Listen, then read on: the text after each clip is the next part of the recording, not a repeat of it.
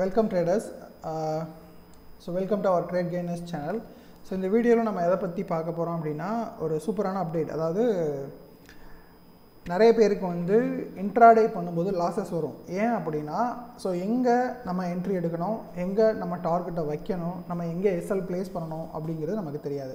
So அந்த விஷயம் தெரியாத ஒரே காரணத்தினால ஏற்படுற சின்ன சின்ன எமோஷன்ஸ்னால நம்ம வந்து உடனே வந்து கட் பண்ணி விட்டுறோம் சரிங்களா? ஸோ அந்த மாதிரி போகாமல் இன்ட்ராடேயில் நம்ம மேக்ஸிமம் ப்ராஃபிட்டபுளாக சஸ்டெயின் பண்ணுறது எப்படி அப்படிங்கிறத ஜஸ்ட் வெறும் ட்ரேடிங் வியூ யூஸ் பண்ணி நான் உங்களுக்கு சொல்லித்தர போகிறேன் ஸோ இந்த அப்டேட் உங்களுக்கு வந்து ரொம்ப பயனுள்ளதாக இருக்கும் அப்படிங்கிறத நான் நம்புகிறேன் சரிங்களா? ஸோ அதுக்கு முன்னாடி ஸோ நம்மளோட ஸ்விங் ட்ரேடிங் கிளாஸ் டிசம்பர் பேட்ச்க்கான அஃபிஷியலாக இது வந்து ஓப்பன் ஆக போகுது சரிங்களா? ஸோ என்ஐஎஸ்எம் சர்டிஃபைடு ட்ரேடர் ஓகேங்களா நான் வந்து என்ஐஎஸ்எம் சர்டிஃபைட் ட்ரேடர் தான். ஸோ உங்களுக்கான ஸ்விங் ட்ரேடிங்க்கான டிசம்பர் பேஜ்க்கான அட்மிஷன்ஸ் வந்து போயிட்டுருக்கு இப்போ தான் போயிட்டுருக்கு. ஸோ நீங்கள் இன்ட்ரெஸ்டடாக இருந்தீங்க அப்படின்னா ஸோ கீழே தெரியிற வாட்ஸ்அப் நம்பருக்கு நீங்கள் மெசேஜ் பண்ணலாம் சரிங்களா? ஸோ அதில் ஸ்விங் ட்ரேடிங்கில் நம்ம எப்படி கண்டினியூஸாக நம்ம வந்து ப்ராஃபிட்டபுளாக இருக்கிறது அப்படிங்கிற டாபிக்ஸ் எல்லாமே வந்து கவர் பண்ணியிருக்கோம். ஸோ எப்போ வந்து கிளாஸு அப்படிங்கிற டீட்டெயில்ஸ் என்னென்ன டாபிக்ஸ் கவர் பண்ண போகிறோம் அப்படிங்கிற டீட்டெயில்ஸை நீங்கள் அந்த வாட்ஸ்அப் மெசேஜ் பண்ணி கவர் இது பண்ணிக்கலாம். ஸோ ரொம்ப கம்மியான மெம்பர்ஸ் தான் வந்து நான் இன்டேக் எடுக்கிறேன் அப்படின்னா ஸோ வரக்கூடியவங்களுக்கு நம்ம ஃபுல்லாக அவங்களோட டவுட்ஸை கிளியர் பண்ணுறதுக்கு நமக்கு வந்து டைம் வேணும். நான் வந்து அவங்களுக்கு மட்டுமே டைம் கொடுக்கணும் அப்படிங்கிறதுனால ரொம்ப கம்மியான மெம்பர்ஸ் தான் வந்து எடுக்க போகிறேன் ஓகேங்களா ரொம்ப கம்மியான மெம்பர்ஸ் ஸோ அதனால் வந்துட்டு நீங்கள் முன்னாடியே வந்து அந்த வாட்ஸ்அப்புக்கு மெசேஜ் பண்ணி நீங்கள் இன்ட்ரெஸ்டடாக இருந்தீங்க அப்படின்னா புக் பண்ணிக்கோங்க. ஸோ இப்போ நம்ம வந்து டேரெக்டாக டாபிக் உள்ளே போயிடலாம். சரி ஓகே இப்போ நம்ம வந்து இன்ட்ராடேயில் என்ன பண்ணுவோம்? காலையில் வந்து மார்க்கெட் ஓப்பன் ஆகும். நம்ம வந்து ஒரு பையோ செல்லோ பண்ணுவோம். உடனே வந்து பார்த்திங்க அப்படின்னா ஸ்டாப் லாஸோ டார்கெட்டோ வந்து ஹிட் ஆகும். பட் இது ஒரு லாங் ரெண்டில் அதாவது ஒரு மாதத்தில் ரெண்டு மாதம் மூணு மாதம் அந்த மாதிரி போகும்போது நீங்கள் ப்ராஃபிட்டபுளாக இருக்கீங்க அப்படின்னா ஓகே பட் இல்லை அப்படின்னா என்ன பண்ணுறது நம்மளோட capital so side by side நம்மளோட கேபிட்டல் வந்து குறைஞ்சிக்கிட்டே வரும். அதாவது லாஸ் பண்ணிகிட்டே வருவோம். சரிங்களா? ஸோ அதை எப்படி நீங்கள் அவாய்ட் பண்ணலாம் அப்படின்னா ஸோ சிம்பிளாக uh, நான் உங்களுக்கு வந்து சொல்லிடுறேன். எப்பயுமே வந்துட்டு டெய்லி ட்ரேட் பண்ணணும் அப்படின்னு நீங்கள் வந்து ட்ரை பண்ணக்கூடாது. ஏன் அப்படின்னா ஸோ டெய்லியுமே வந்து மார்க்கெட் வந்து ஆப்ஷன் பையஸ்க்கு வந்து மூவ்மெண்ட் இருந்தால் தான் ப்ராஃபிட் ஓகேங்களா இல்லை அப்படின்னா ஒரு பத்து இருபது பாயிண்ட் எடுக்கணும் மட்டும்தான் நீங்கள் உள்ளே போகணும். இல்லை நீங்கள் வந்து டெய்லியுமே ஆப்ஷன் பையிங் வந்து பண்ண போகிறேன் அப்படின்னா அன்றைக்கான மார்க்கெட் வந்து ஆப்ஷன் பையிங்க்கு கரெக்டாக இருக்கா அப்படிங்கிறத செக் பண்ணிட்டு போகணும். அதுக்கு ஒரு சில பேராமீட்டர்ஸ் எல்லாம் இருக்குது பட் அதை நம்ம பின்னாடி பார்க்கலாம். இப்போ வந்து நம்ம டாபிக் உள்ளே போயிடலாம் சரிங்களா? ஸோ இப்போ நம்ம ஒரு சூப்பரான ஸ்ட்ராட்டஜி யூஸ் பண்ணி இன்ட்ராடேயில் எப்படி ப்ராஃபிட் பண்ண போகிறோம் அப்படிங்கிறத மட்டும் தான் நம்ம இப்போ பார்க்க போகிறோம் ஸோ அதுக்கு என்ன பண்ணணும்? ஸோ ஃபஸ்ட்டு வந்து உங்களோட டைம் ஃப்ரேமை தேர்ட்டி மினிட்டுக்கு வந்து மாற்றிக்கோங்க ஸோ தேர்ட்டி மினிட் அது எது? பே நிஃப்டியாக இருக்கட்டும் பேங்க் நிஃப்டியாக இருக்கட்டும் Fin Nifty mid cap Sensex Bankex next Nifty எதுவாக இருக்கட்டும் அதெல்லாம் மேட்டரே கிடையாது. ஸோ எல்லாமே வந்து பார்த்திங்கன்னா தேர்ட்டி மினிட்டுக்கு வந்து மாற்றிக்கோங்க இப்போ நீங்கள் என்ன பண்ண போகிறீங்க அப்படின்னா ஸோ தேர்ட்டி மினிட்ல வந்து சப்போர்ட் அண்ட் ரெசிஸ்டன்ஸ் வந்து வரைஞ்சிக்கோங்க. ஸோ நிறைய பேருக்கு டவுட் இருக்கும். ப்ரோ சப்போர்ட் அண்ட் ரெசிஸ்டன்ஸே வந்து எப்படி வரையணும்னு எனக்கு தெரியல. அப்படிங்கிறதெல்லாம் நிறைய பேர் எனக்கு சொல்லியிருக்கீங்க. ஸோ சப்போர்ட் அண்ட் ரெசிஸ்டன்ஸ் வரைகிறதெல்லாம் ஒரு பெரிய விஷயமே கிடையாது. என்னென்னா நீங்கள் மார்க்கெட்டை கண்டினியூஸாக வாட்ச் பண்ணிகிட்டே இருந்தீங்க அப்படின்னா நீங்கள் பழகுனீங்க அப்படின்னா ஆட்டோமேட்டிக்காகவே அது வந்துடும் சரிங்களா? ஸோ இப்போ வந்து நான் தேர்ட்டி மினிட்ல சப்போர்ட் அண்ட் ரெசிஸ்டன்ஸ் வரைகிறேன் நீங்களே வந்து நோட் பண்ணுங்கள் எப்படி இருக்குது அப்படிங்கிறத பாருங்கள் ஸோ இது வந்து நம்ம ஸ்டெப் ஒன் சரிங்களா? ஸோ நம்மளோட ஸ்டெப் ஒனில் first support and resistance use பண்ண போகிறோம் அந்த சப்போர்ட் அண்ட் ரெசிஸ்டன்ஸ் யூஸ் பண்ணி ஒரு சில கேண்டில் கன்ஃபர்மேஷன் எடுத்து நம்ம பையோ செல்லோ பண்ண போகிறோம் வித் ப்ராப்பர் ரிஸ்க் ரிவார்டோட சரிங்களா? அதை தான் நீங்கள் பார்க்க போகிறீங்க சரி ஓகே இப்போ வந்து நான் ஃபஸ்ட்டு வந்து சப்போர்ட் அண்ட் ரெசிஸ்டன்ஸ் வந்து வரைகிறேன். முன்னாடியே வந்து வரைகிறேன். ஸோ மார்க்கெட் வந்து பார்த்தீங்கன்னா ஃபஸ்ட்டு ஓவரால் ட்ரெண்ட் வந்து செல்லிங்கில் இருக்குது. அதை பார்த்தோன்னே தெரிஞ்சிடும். ஸோ இங்கெங்கெல்லாம் மார்க்கெட் வந்து சப்போர்ட் எடுத்திருக்கு? இங்கே வந்து ஒரு சப்போர்ட் எடுத்திருக்கு. சரிங்களா? ஸோ இங்கே வந்து நான் ஒன்று வரைஞ்சிருக்கேன். ஓகே அதுக்கப்புறம் மார்க்கெட் வந்து எங்கே ரெசிஸ்டன்ஸ் எடுத்திருக்கு? ஸோ இங்கே ஒரு ரெசிஸ்டன்ஸ் எடுத்திருக்கு. ஸோ இதுக்கப்புறம் எங்கே மார்க்கெட் வந்து சப்போர்ட் எடுத்துருக்கு? ஒரு பெரிய சப்போர்ட் அப்படின்னா இங்கே ஒரு சப்போர்ட் எடுத்திருக்கு. இதுக்கப்புறம் வந்து பார்த்திங்கன்னா இங்கே ஒரு சப்போர்ட் எடுத்திருக்கு. ஓகேங்களா ஸோ ரஃபாக வந்து வரைவீங்க அந்த சப்போர்ட் அந்த லைன் வந்து பார்த்திங்கன்னா ஒரு ஜோனாகவும் ஆக்ட் ஆகும். அதாவது லைனுக்கு பக்கத்தில் வரும்போது கூட கேண்டில்ஸோட கன்ஃபர்மேஷன் எடுத்து நம்ம வந்து ட்ரேட் எடுக்கலாம். சரிங்களா? அது எப்படி எடுக்கணும் அப்படிங்கிறது உங்களுக்கு பழகுனா வந்துடும் சரிங்களா? ஸோ இங்கே வந்து பார்த்திங்கன்னா ஒரு ரெசிஸ்டன்ஸ் ஜோன் இருக்குது சரிங்களா? ஓகே இப்போ ஜென்ரலாக உங்களுக்கு புரியணும் அப்படிங்கிறதுக்காக மட்டும் நான் இதை அப்படி வரைஞ்சிக்கிறேன். சரி இப்போ வந்து டோட்டலாக வந்து ஃபைவ் மினிட்டுக்கு வந்து நான் இதை மாற்றுறேன் சரிங்களா? ஸோ ஃபைவ் மினிட்டுக்கு மாற்றுறேன் இதில் நான் உங்களுக்கு ரெண்டு முக்கியமான பேராமீட்டர்ஸ் வந்து நான் ஆட் பண்ண போகிறேன் ஒன்று வந்து பொலிஞ்சர் பேண்ட் ஓகேங்களா? ஸோ பொலிஞ்சர் பேண்ட் வந்து நான் இப்போ ஆட் பண்ணிக்கிறேன். பொலிஞ்சர் பேண்ட் வந்து இங்கே ஆட் ஆயிடுச்சு இதை யூஸ் பண்ணி எப்படி ட்ரேட் எடுக்கிறது? ஸோ ஜென்ரலாக வெறும் பொலிஞ்சர் பேண்டை வச்சு மட்டுமே ட்ரேட் எடுக்கணும் அப்படின்னா நிறைய ட்ரைனிங் வேணும். இதை நம்ம ஒரு சில பேராமீட்டர்ஸ் யூஸ் பண்ணி ட்ரைவ் எடுக்கலாம். சரிங்களா? ஸோ இப்போ நார்மலாக வந்து கேண்டில்ஸ் அப்படின்னு இருக்கும். அதை வந்து ஹெக்கனாசி அப்படின்னு இங்கே ஒரு ஹெக்கனாசி அப்படின்னு வரும். அந்த கேண்டிலில் வந்து பார்த்தீங்கன்னா இங்கே ஹெக்கன் ஆசி அப்படின்னு வரும்.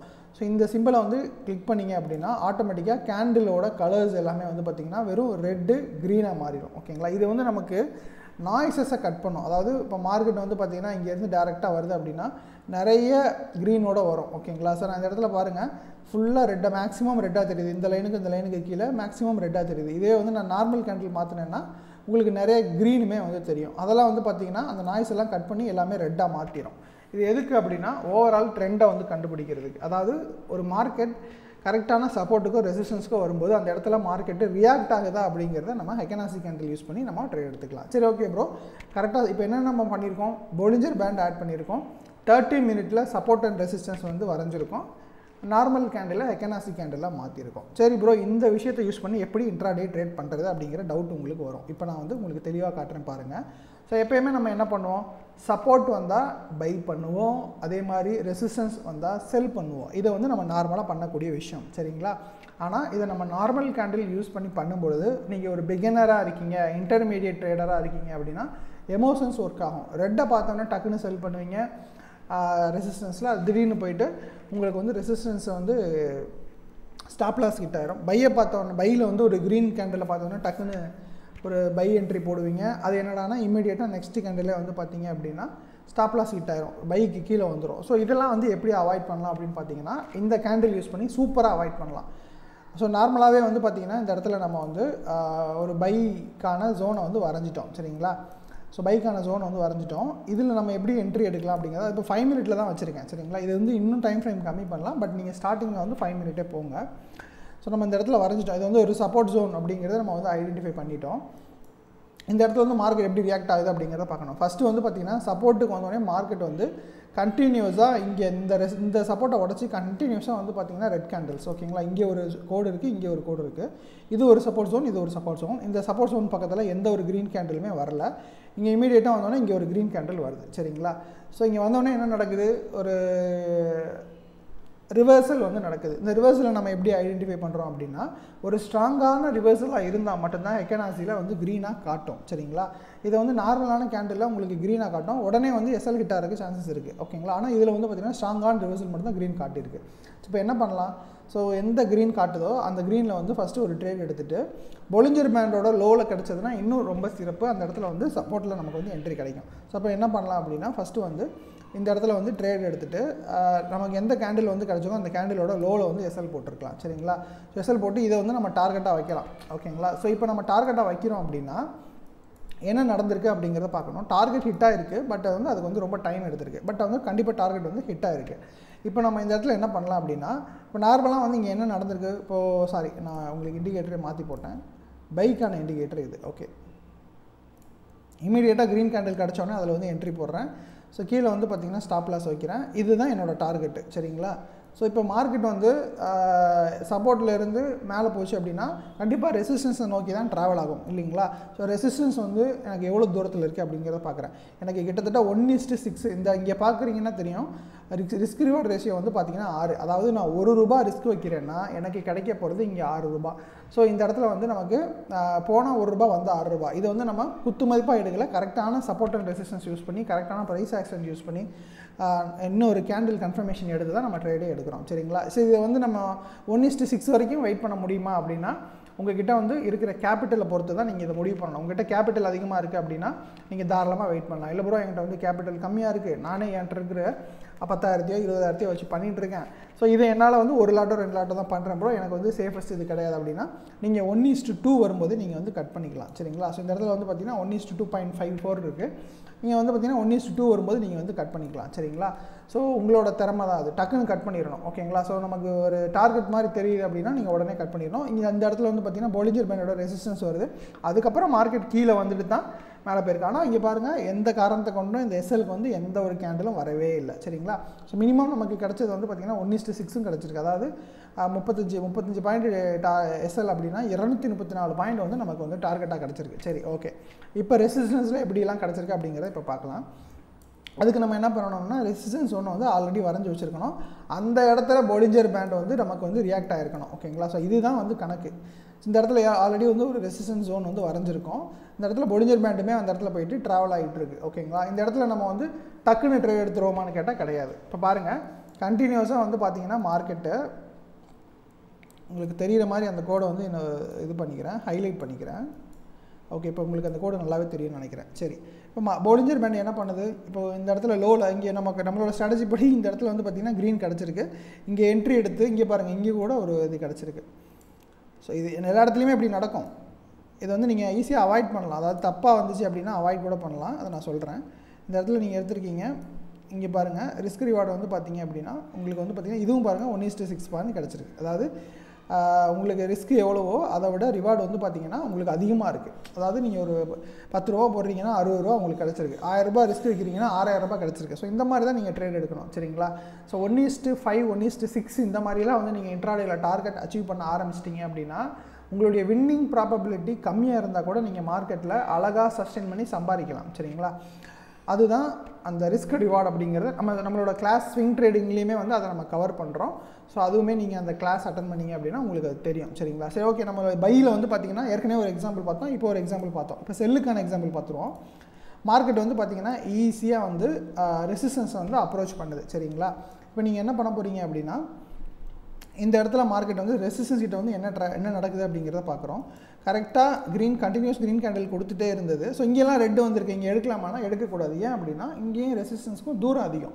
ஸோ இந்த இடத்துல வந்து பார்த்தீங்க அப்படின்னா இங்கே ஒரு ரெசிஸ்டன்ஸ் இருக்குது இந்த இடத்துல பார்த்தீங்கன்னா நமக்கு ஒரு ரெட் கேண்டில் இருக்குது ஒரு ஸ்ட்ராங்கான ரெட் கேண்டிலுக்கு நம்ம வெயிட் பண்ணுவோம். கிடச்சிருச்சு. கிடச்ச உடனே என்ன பண்ணுவோம்னா அந்த ரெட் கேண்டிலோட லோவில் வந்து நம்ம என்ட்ரி போட்டு ஏற்க நமக்கு ப்ரீவியஸாக கிடச்சிருக்கிற அந்த கேண்டிலோட ஹையில் வந்து நம்ம எஸ்எல் மாதிரி போட்டுக்கலாம் சரிங்களா? ஸோ இப்போ நம்ம என்ன பண்ண போகிறோம் அப்படின்னா ஃபுல் டார்கெட்டுக்கு நம்ம வெயிட் பண்ண போகிறோமா நான் முன்னாடியே சொல்லிட்டேன் அது உங்ககிட்ட இருக்கிற கேபிட்டலை பொறுத்து. உங்ககிட்ட வந்து அமௌண்ட் கம்மியாக இருந்ததுன்னா மேக்ஸிமம் ஒன் இஸ்ட் டூவில் புக் பண்ண பாருங்கள் ஓகேங்களா? ஸோ இப்போ வந்து பாருங்கள் நமக்கு வந்து டார்கெட்டுன்னு பார்த்தீங்கன்னா ரொம்பவே அதிகம். ஓகேங்களா? ஸோ நமக்கு வந்து டார்கெட் எவ்வளோ கிடச்சிருக்குன்னு பாருங்கள் மேக்ஸிமம் டார்கெட்டு ஸோ இதுதான். இதில் பாருங்கள் ஒன் இஸ்ட்டு எயிட் வரைக்கும் கிடச்சிருக்கு. இங்கே பாருங்கள் அடுத்த டார்கெட் வந்து பார்த்தீங்கன்னா இவ்வளோ தூரம் இருக்குது மார்க்கெட்டுமே வந்திருக்கு. இவ்வளோ இங்கே பாருங்கள் டார்கெட் அச்சீவ் ஆயிடுச்சு நம்மளோட எஸ்எல் வந்து ஹிட்டே ஆகலை. நீங்கள் பார்த்தீங்கன்னா தெரியும். எஸ்எல் வந்து இங்கே ஹிட் ஆகலை. ஆனால் டார்கெட் இங்கே நமக்கு ஓவரால் இது வந்து பார்த்தீங்க அப்படின்னா நமக்கு வந்து டார்கெட் வந்து இங்கே ஹிட் ஆயிடுச்சு அப்போது அதோட ரிஸ்க் ரிவார்டு பார்த்தீங்க அப்படின்னா எவ்வளோன்னு பார்த்தீங்கன்னா ஒன் இஸ் டு ஃபோர்டீன் இங்கே பாருங்கள் one is to fourteen risk reward so எவ்வளோ தூரத்தில் வந்து கிடச்சிருக்குன்னு மட்டும் பாருங்கள்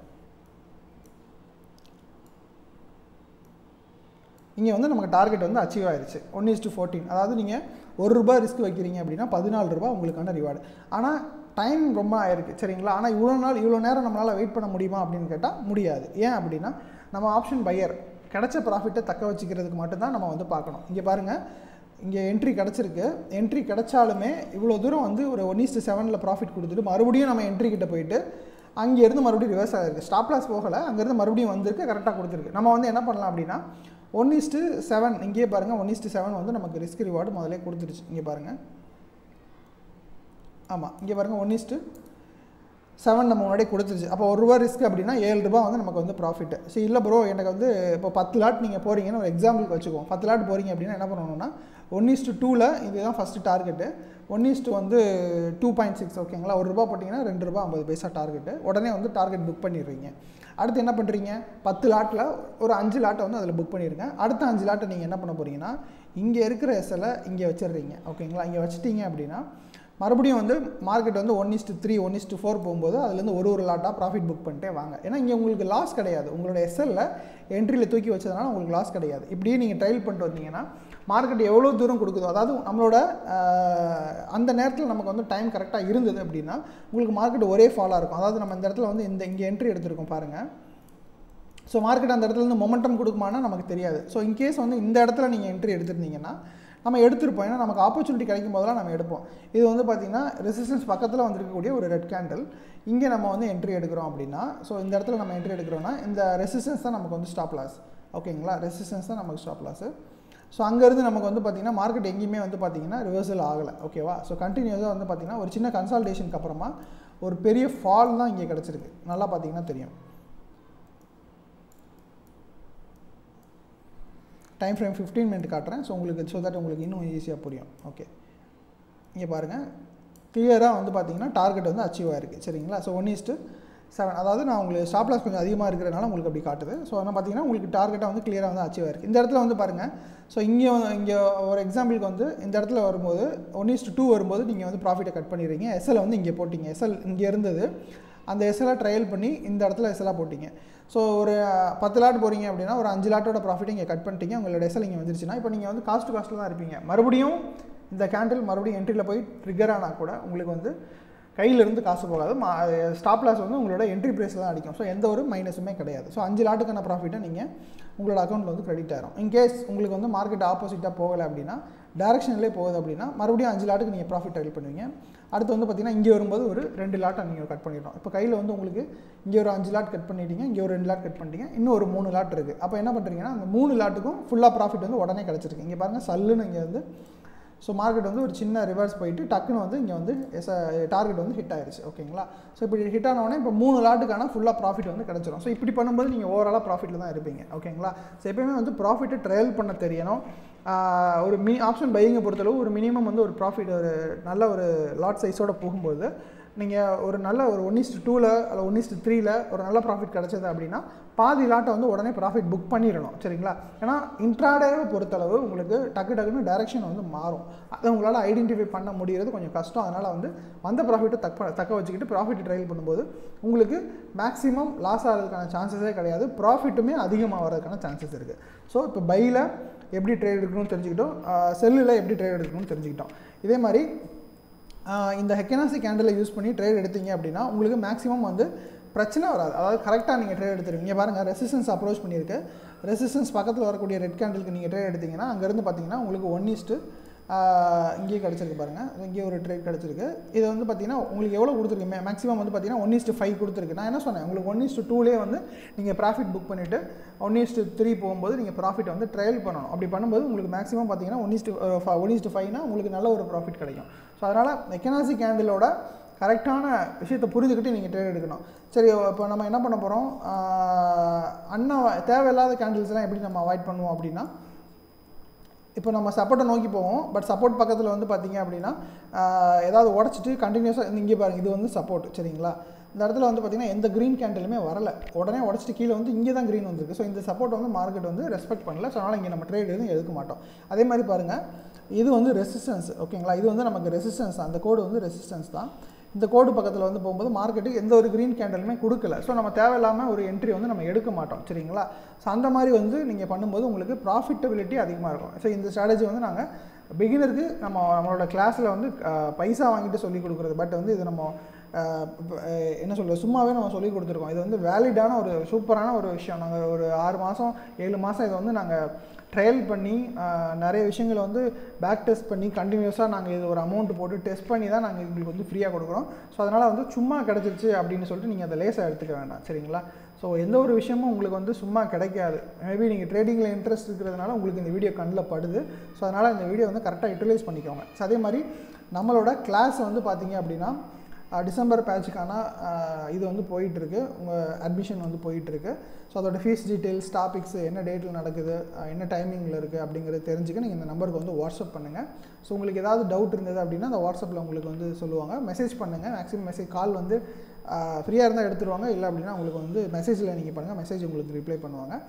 ஸோ இந்த மாதிரி நிறைய விஷயங்கள் தெரிஞ்சுக்கணும். இல்லை உங்களோட ஃப்ரெண்ட்ஸுக்கு வந்து இந்த மாதிரி நிறைய விஷயங்கள் வந்து அவங்க ட்ரேட் பண்ணுறாங்க அவங்களுக்குமே தெரிஞ்சுக்கணும் அப்படின்னா அந்த வீடியோ வந்து அவங்களுக்கு ஷேர் பண்ணுங்கள் ஸோ உங்களுக்குமே வந்து ட்ரேடிங்கை பொறுத்தினா ஏதாவது டவுட் இருந்தது அப்படின்னா நம்மளோட free Telegram group free WhatsApp group link வந்து கீழே கொடுத்துருக்கோம். ஸோ அதில் ஜாயின் பண்ணிக்கோங்க சரிங்களா? ஸோ இன்னொரு நல்ல வீடியோவில் சந்திக்கலாம். நன்றி.